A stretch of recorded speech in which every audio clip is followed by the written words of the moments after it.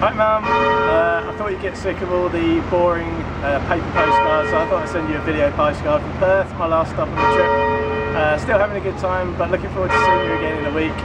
Uh, I'm going to the WACA tour which will be good fun this afternoon. Uh, love you lots, see you soon, bye bye.